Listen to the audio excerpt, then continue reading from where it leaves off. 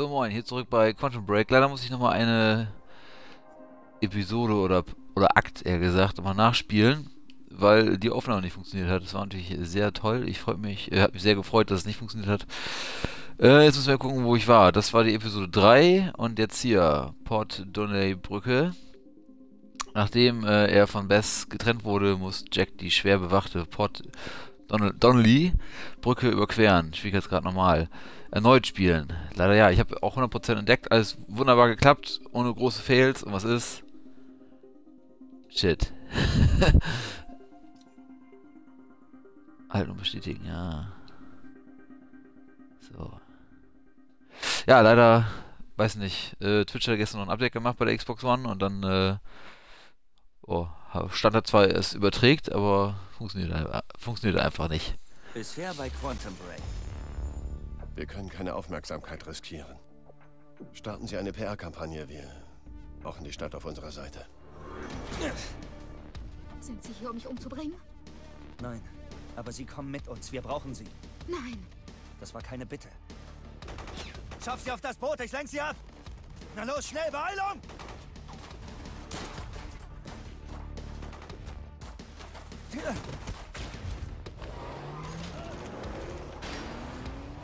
Sie war die Einzige, die mir die Medikamente verabreichen konnte, die meine Krankheit kontrollierten. Sophias Daten waren immer gut. Ich vertraue ihr. Wir analysieren die Zahlen und treffen sofort Vorbereitungen für die Aktivierung des Rettungsboots. Gut. Ich bringe den Laptop in die wissenschaftliche Abteilung. Nein, ich denke, das mache ich selbst.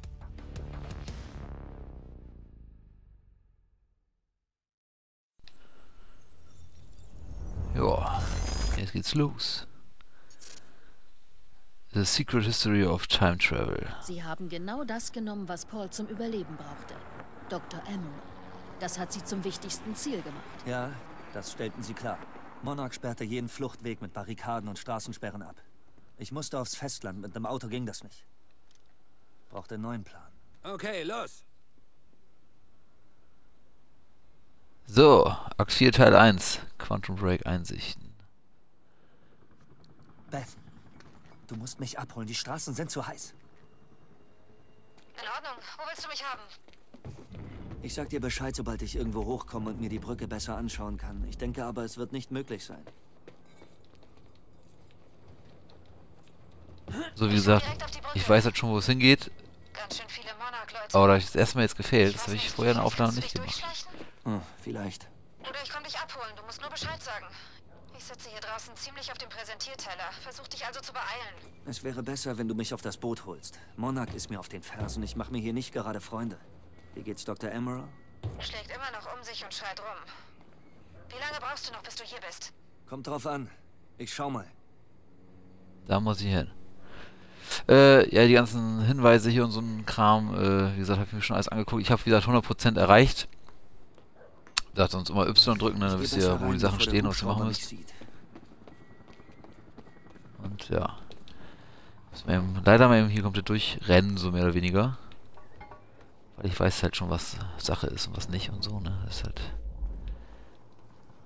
alles nicht neu für mich. Leider.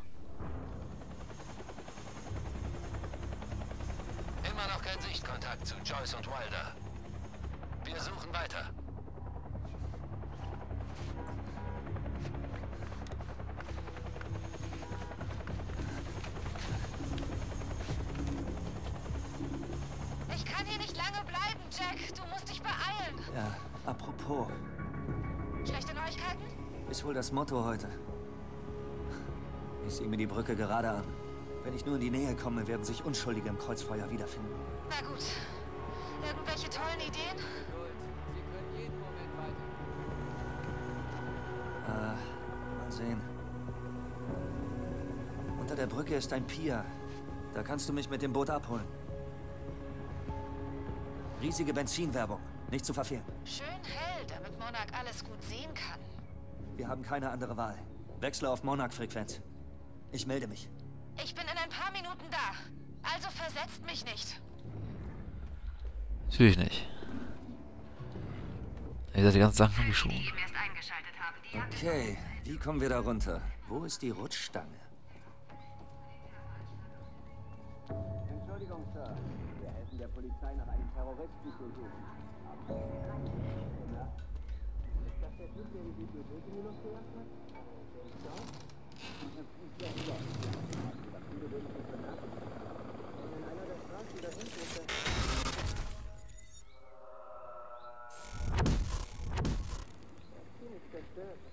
Bam.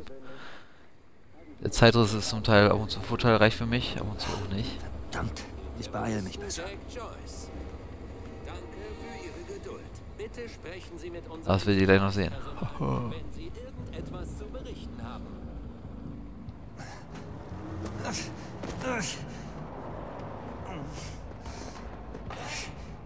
Schleicht jemand rum? Hey! Das ist Jack Joyce! Auch geil, oder? Hey, das ist Jack Joyce. Ja, so, Zeitriss ist gerade aktiv hier. Äh, da habe ich trotzdem welche mit äh, Chrono, äh, Maschinchen auf dem Rücken. Die musst du ja trotzdem wegholen. Ah, es reicht doch einfach, die direkt irgendwie zu erwischen. So, zack. So schnell geht das. Easy peasy. Die Sache ist nur die, wo sind deren Waffen? Ich brauche bessere Waffen hier.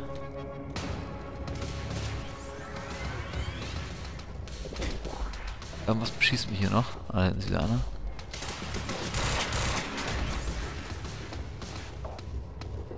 Wo ist er hin? Da.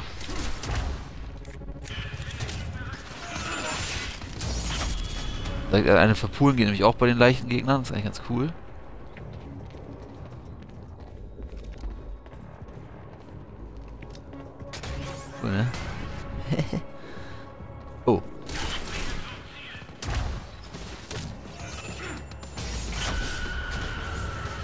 schneller down. Wenn man schön reinläuft und mit B dann. Außer man hat gerade keinen Wupsen, oder wie das heißt. So.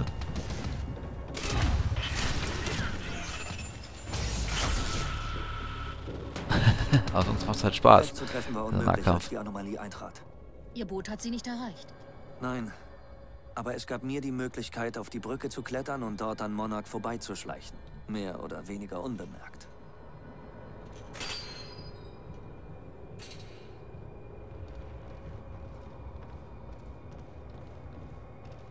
So, schnell weiter, weiter, weiter. auf die Brücke und sie überqueren, bevor diese Anomalie vorbei ist. Ist echt blöd, wenn man es nochmal spielen muss, ey. Äh, Mann, ey. Hier werden auch überall Ch- Chrono-Quellen, also sechs Stück an der Zahl und die habe ich auch alle aufgenommen. Und ich auch ein bisschen meinen Charakter ein bisschen mehr leveln. War eigentlich ganz cool. Also hier sieht euch das an hier. Geile Himmel hier. Zeitbeschiebungshimmel. Geil.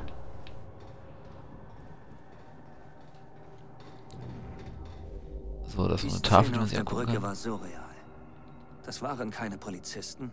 Sie hatten keinerlei Befugnis. Aber Monarchs PR-Maschine hatte ganze Arbeit geleistet. Sie waren die Helden, die alle beschützten. Und sie waren der Terrorist. Ja. Sogar noch schlimmer als mein Passbild. Wie gesagt, hier habe ich schon alles, ne? So, das ist Muni, das heißt gleich geht's los. Das ist natürlich nicht so toll. Da steht schon eine Waffe. Kommt ein Obermuckel. Der noch irgendwie so eine komische Fähigkeit hat. Die mir nicht gefällt. So, hier natürlich immer ratsam ein Shotgun. Ah, die habe ich gerade nicht dabei. Die habe ich gerade nicht. Deswegen muss ich nochmal gucken, wie ich das hinkriege. Das war ja, ne? So, nehme ich natürlich auch gleich direkt. Da. Oh. Falschen Knopf gedrückt gehabt eben. Hupsen! Äh, ja, das ist irgendwie gerade scheiße gewesen. Ich konnte dieses Laufen nicht machen. Das war vor, vorher die Aufnahme, habe ich das 1A eiskalt durchgezogen. Ohne, verlo- ohne dass ich einmal sterben musste. Und jetzt so, ein- so ein Mist. Also das ist echt der Hammer. Ich habe vorher so gut gespielt gehabt in der ersten Aufnahme. Und jetzt muss ich den ganzen Kack noch nachspielen. Und was ist? Äh, es läuft nicht. Ey, super. Los, komm ins Lade. Gibt's doch nicht. Ja, ja, la, la, la, la, kann ich schon. Jetzt musst du nochmal laden. Ey, komm bitte. So, jetzt reicht's doch. Jetzt schießt ihr alle über den Haufen mit der Shotgun, ey. Los, los, los, los, los, los. Und wichtig ist auch immer in, in Bewegung bleiben, ne? Oh. Geil, dass er mich direkt da starten lässt, ey. Aua, aua, aua. Was? Das hat nicht funktioniert.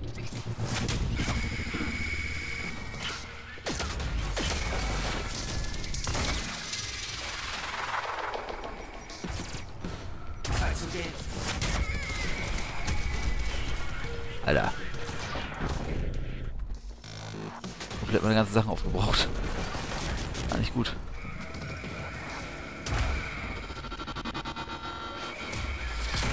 Oh. Nicht drauf gehen. Ja, es war lief dieser irgendwann mal besser. Jetzt muss ich noch nachladen. Scheiße.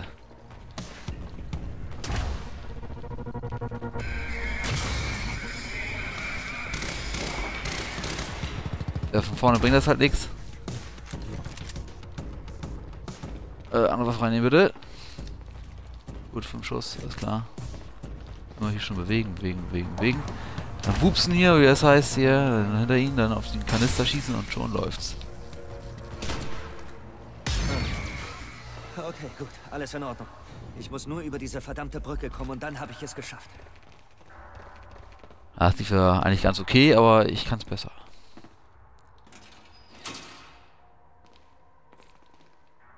Jetzt kommt noch Jump'n'Run. Ach, guck dir das mal an, wie geil das aussieht mit dem Schiff und so.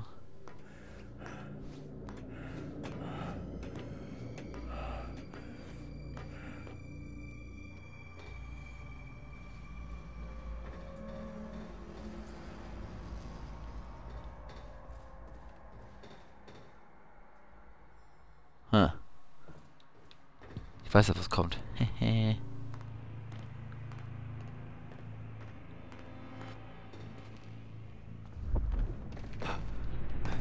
Wupsen.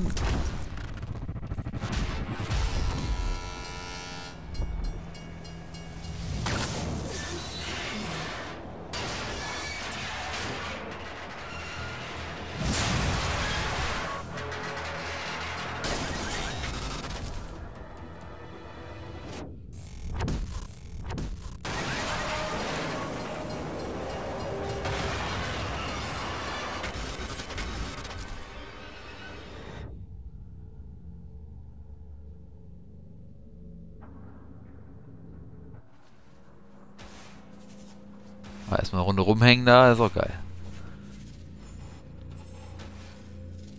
So. Man sieht, sich, man sieht da hinten schon die Teile sich bewegen, die man dann gleich stoppen muss. Mal erstmal die Hängepartie beenden. Oh nein. Das ist wirklich übel.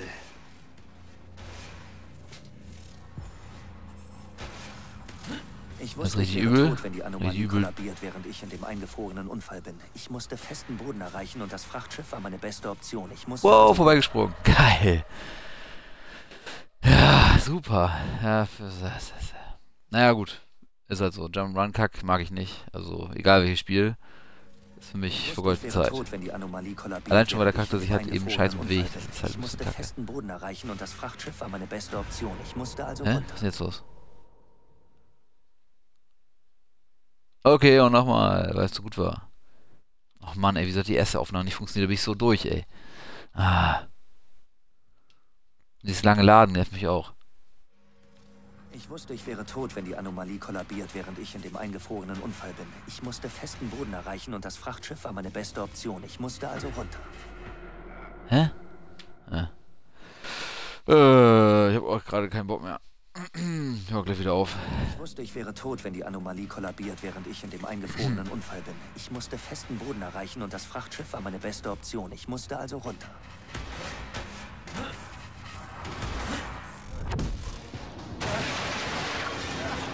Hüpfen, hüpfen, hüpfen.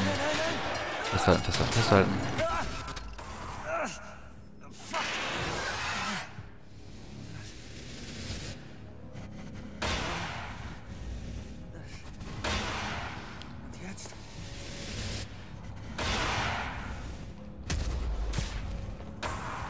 War knapp, eigentlich hätte ich wupsen müssen. Chaos. Außerdem muss man halt diesen irgendwie einen Weg rüber Zeit- finden Run und einfach machen da. Beste hoffen.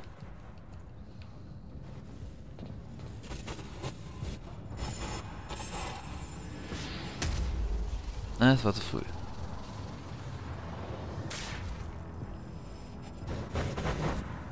Oh.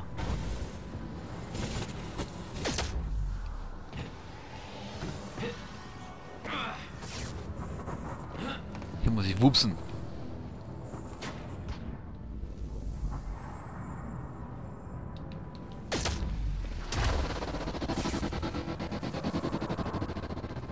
Oh ja. Ich bin immer weiter nach unten, auf das Frachtschiff zu.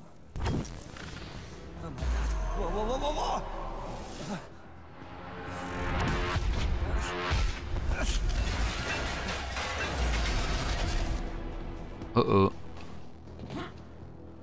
Der Weg nach unten war nicht unbedingt angenehm. Nein, nicht runterfallen. Der Riss wurde schlimmer.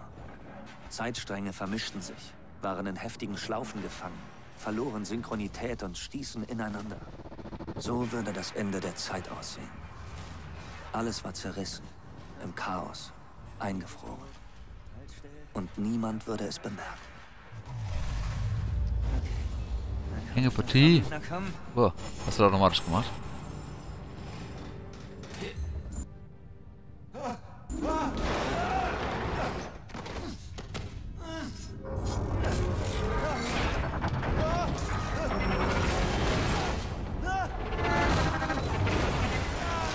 Und weg.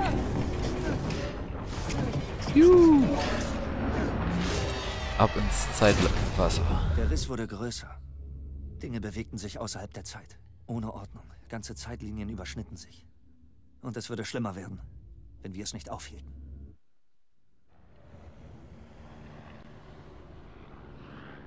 Sie begreifen nicht, was Sie da für eine Macht haben. Sie müssen diese Technologie Monarch übergeben.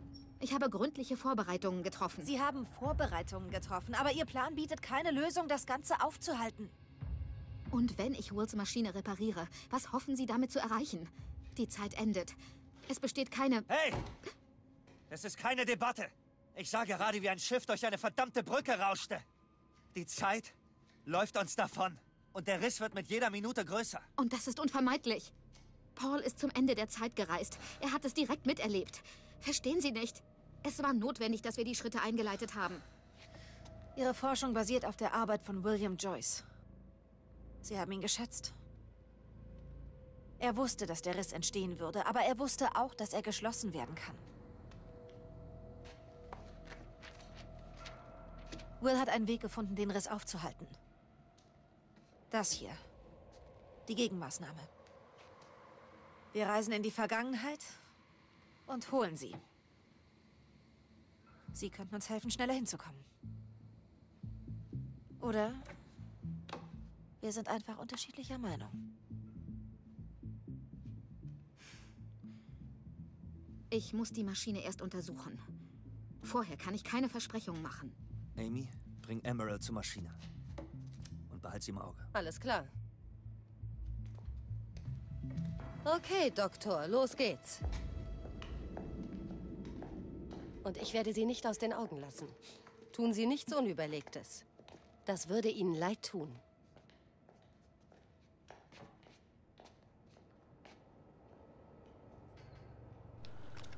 Ja, geil. Akt 4 Teil 2. Bevor wir nach unten gehen, müssen wir etwas besprechen.